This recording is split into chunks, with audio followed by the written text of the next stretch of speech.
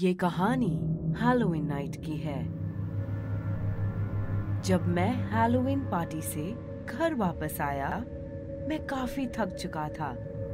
वापस आते सोने के लिए बेड पर चला गया। उस वक्त तकरीबन रात के एक बज चुके थे। लेकिन जब किसी वजह से मेरी आँख खुली तो मैंने देखा, अभी तो सिर्फ़ दो बजे हैं।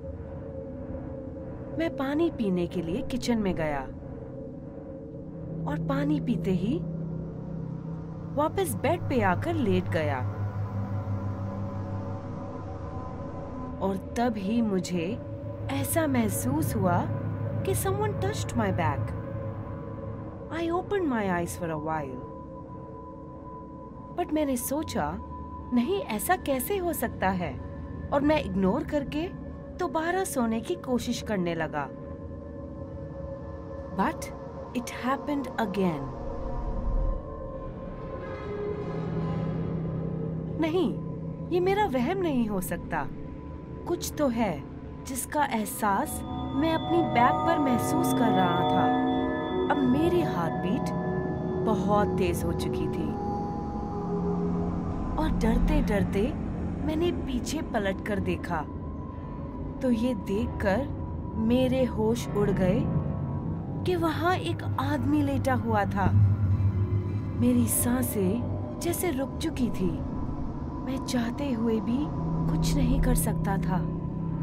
आई वॉज़ फीलिंग हेल्पलेस मैंने ऐसा खौफनाक चेहरा कभी नहीं देखा था। ऐसी भयानक हँसी और आहिस्ता आहिस्ता वो मेरे नज़दीक आने लगा।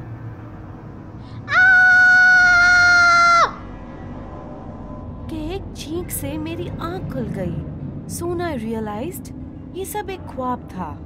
ओह थैंक गॉड इस खौफनाक ख्वाब की वजह से मेरा गला खुश्क हो चुका था और मैं किचन गया।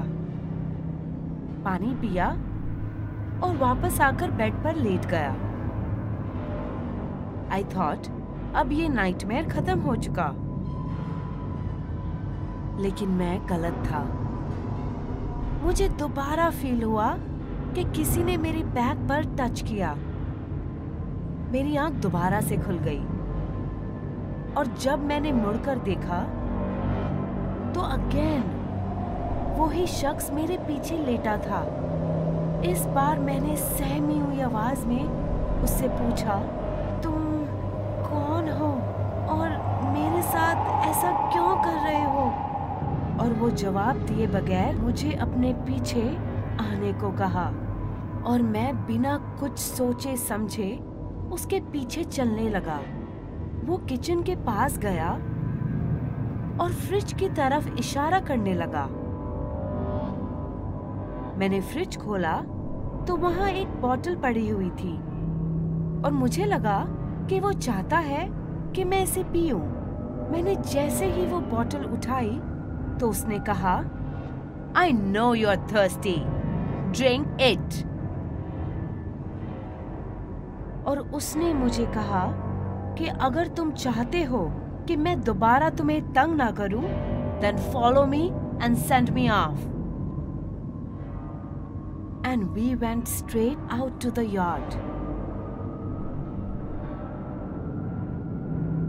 वो फ्रंट गेट के बाहर जाकर खड़ा हो गया और मेरी तरफ़ देखने लगा।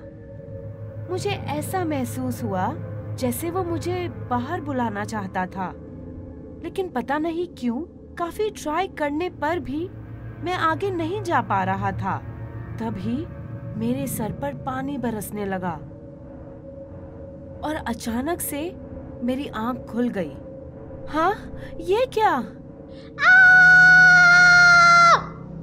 मैंने जो देखा वो देखकर मेरी रूह काँप गई। मैं रूफ टॉप पर खड़ा था और मैंने रियलाइज़ किया कि मेरे नीज रूफ रेलिंग के साथ टकरा रही थी।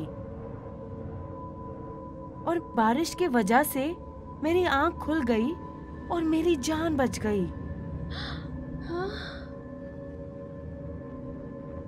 मैं जल्दी से उठा और भागते हुए अपने अपार्टमेंट में वापस आ गया और सुकून की सांस ली। मुझे प्यास लग रही थी और जैसे ही मैंने फ्रिज खोला तो मैंने देखा सामने वही एम्प्टी बॉटल पड़ी थी जो मुझे इवल स्पिरिट ख्वाब में पीने को कह रही थी। और मुझे फिर से रियलाइज़ हुआ कि वो तो विस्की बॉटल थी, जो नींद ना आने पर मैं अक्सर पिया करता था। वो विस्की पीने की वजह से ही मुझे वो इवल स्पिरिट नज़र आ रही थी। और विस्की पीने की वजह से ही मैं नींद में चलते हुए रूफ टॉप तक पहुँच गया था। और अगर मेरी बॉडी रूफ रेलिंग से ना टकराती तो आज मैं ज़िंदा ना होता।